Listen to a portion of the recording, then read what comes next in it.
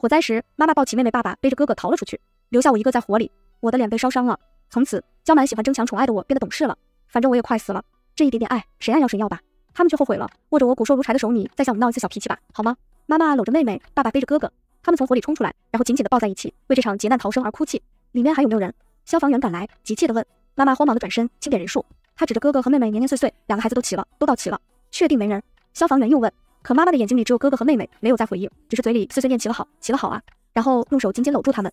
而这个时候，我刚捂着嘴从火里面冲出来，这句话顿时让我像个可怜的小丑。我的身上焦黑，衣服破破烂烂，而他们因为出来的早，几乎没被烧到衣衫整洁。我原本苦苦支撑站立的身体，被妈妈的话轰然击倒，我摔倒在了地上，剧烈的灼烧的疼痛蔓延了我整张背。我叫鱼鱼，大名是江鱼，从来都是多余的。哥哥，你别搁置我。逃出来后，妹妹和哥哥打闹起来，欢笑声让父母的满面愁容减轻了一些。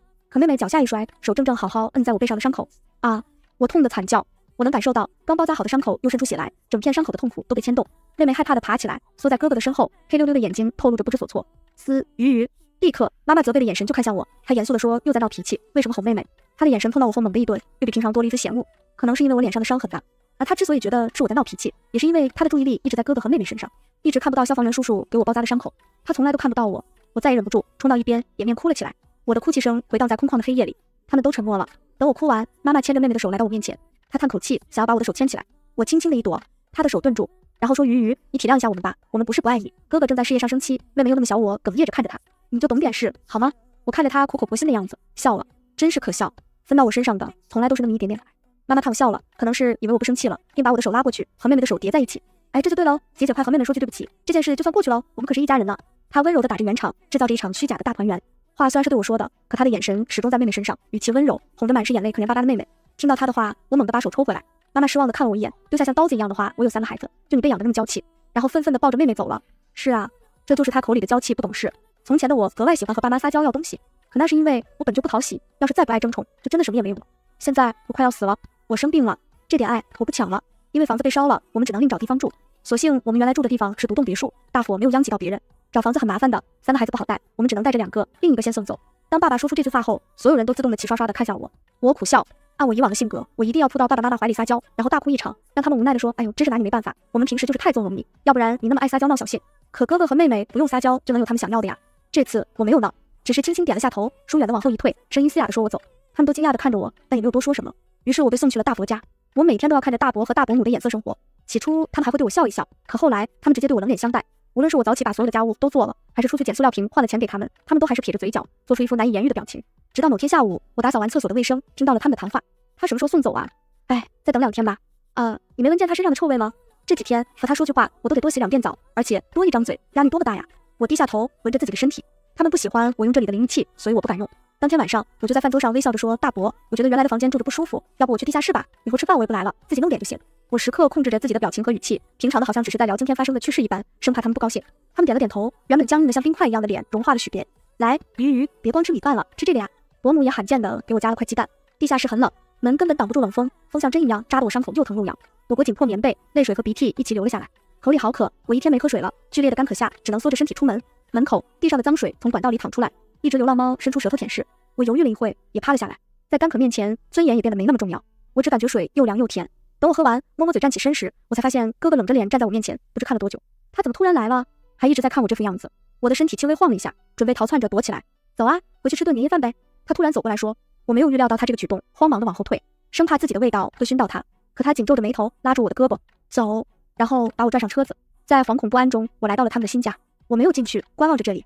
双层小洋房，带小院，很整洁干净。他们经济上似乎并不窘迫，可为什么偏偏不能带上我呢？我低下头，磨蹭着不想进去。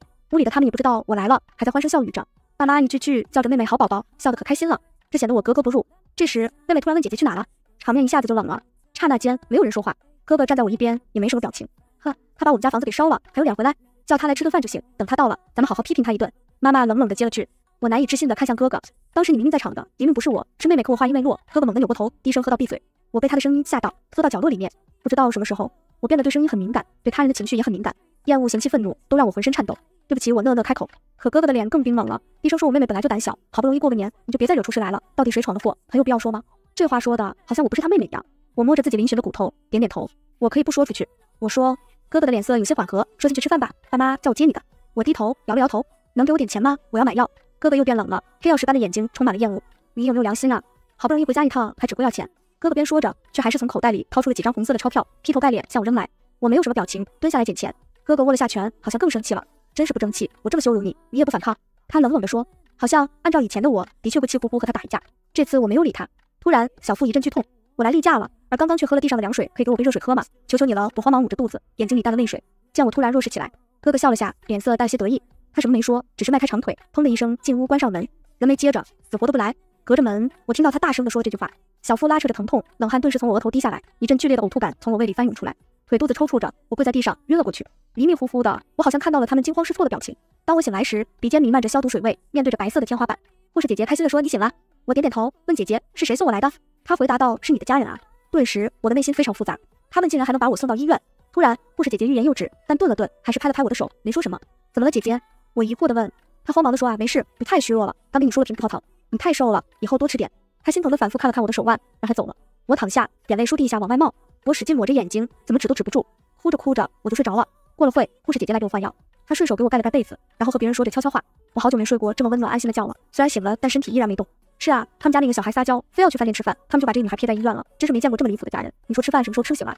护士姐姐窃窃私语说，我的心脏抽疼了一下，不是说好不在乎他们了吗？怎么又难受了？我在心里默默问自己。晚上，爸爸妈妈和哥哥妹妹打包了剩菜给我，姐姐，我给你带了好吃的。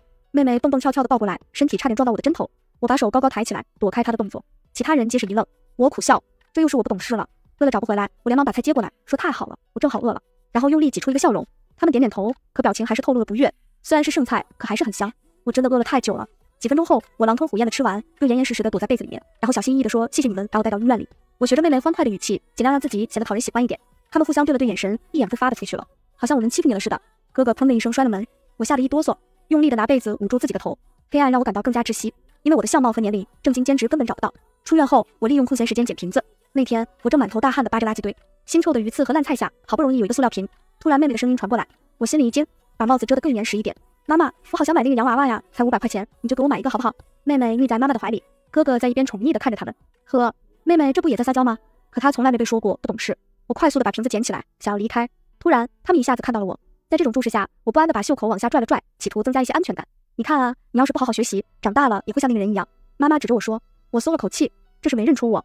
因为要御寒，我从垃圾堆里找出了好几套棉服帽子，把自己捂得严严实实。妹妹点点头，搂住妈妈的脖子，以后我赚钱给妈妈买大房子，绝对不像那个流浪汉一样。他们欢笑着走了，只有哥哥没笑，他回头深深地盯了我一眼。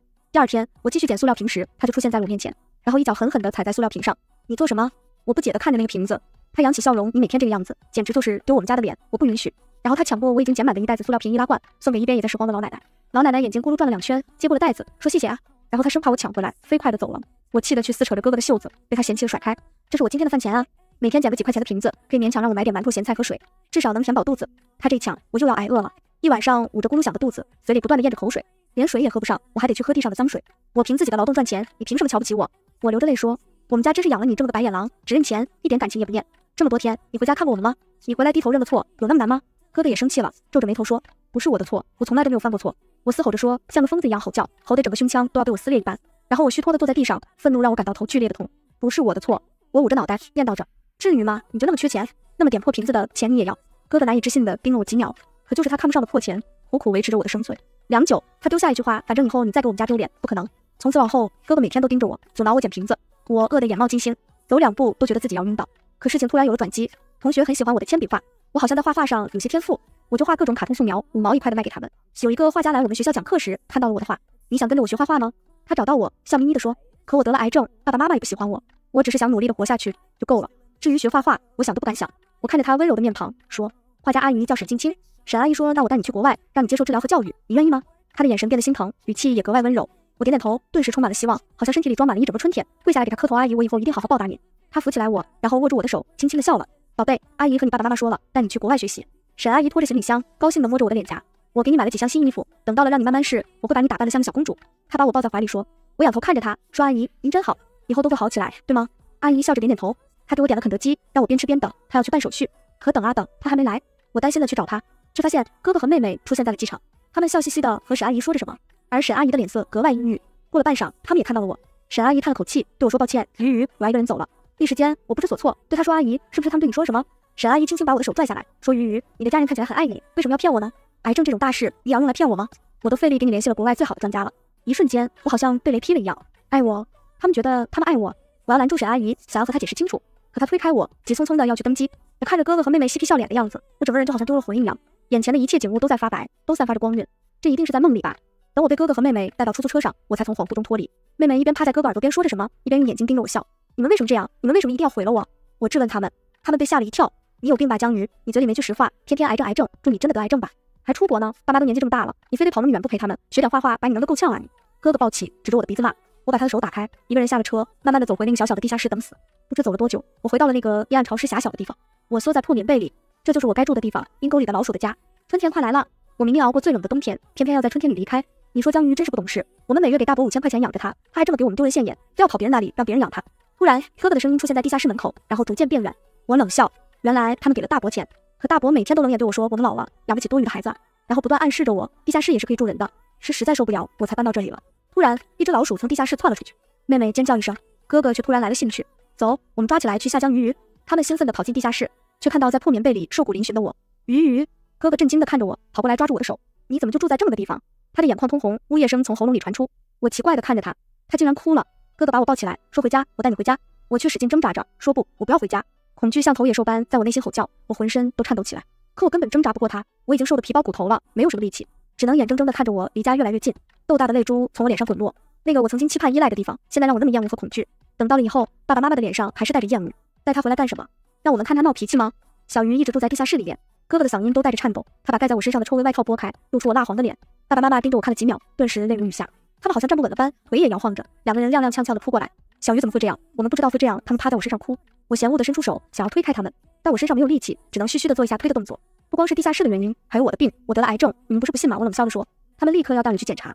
对于这个，我没有推脱，我还是想活下去。哥哥把车开得飞快，汗也从额头往下滴。到了医院，医生严肃地摘下眼镜，怎么拖了这么久？他问。爸爸妈妈哆嗦着嘴，叶如说之前不知道啊。我别过头去，明明我说过无数次，他们都不信。哎，能联系上国外顶尖专家，倒能有救。只可惜医生摇摇头，他说出了这个领域最顶尖专家的名字。我默默攥紧了拳头，天像塌了一般，一瞬间，我的眼前一片漆黑，周围也仿佛静音一般。最后的希望没了。那个专家正是沈阿姨给我联系的那位，他们亲手把我的机会断送了。爸爸妈妈说，那要碎碎先在这家医院治治行吗？他们已经涕泪横流。我气若游丝的开口，不用了，让我回家。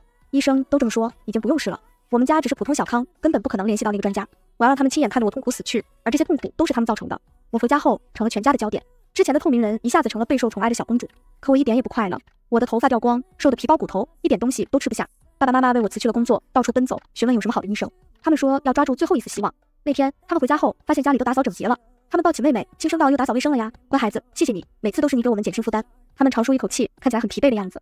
妹妹捏着衣角，低下头，什么没说。哥哥在一边怒了。是碎碎打扫的，我拦着他，可他非要打扫。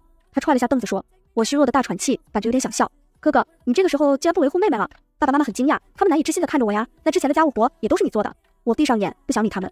每次你们都觉得是妹妹做的，每次在我撒娇时，你们都直接认定是我不懂事，我爱争宠。可我只是在争取公平。他们走过来，握住我干柴的手腕，不要这么懂事了，好不好？再闹一次脾气吧。他们的姿势几乎都跪下了，乞求般的对我说：“之前一直让我懂事，为什么现在又变了？”